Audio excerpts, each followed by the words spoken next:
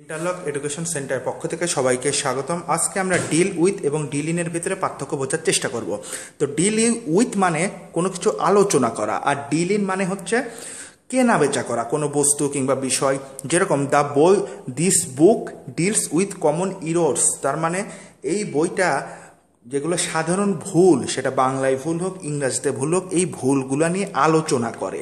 তার মানে এখানে ডিলস উইথ মানে কি? আলোচনা করা।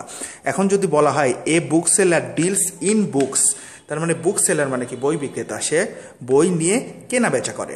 আচ্ছা আর আর দুটো ওয়ার্ড হচ্ছে, একটা হচ্ছে বোরো এবং লেন্ড বোরো মানে ধার কিংবা ঋণ নেওয়া, আর লেন্ড মানে ধার কিংবা ঋণ দেওয়া। যেরকম I want to borrow a book from you আমি তোমার কাছ থেকে একটি বই ধার নিতে চাচ্ছি।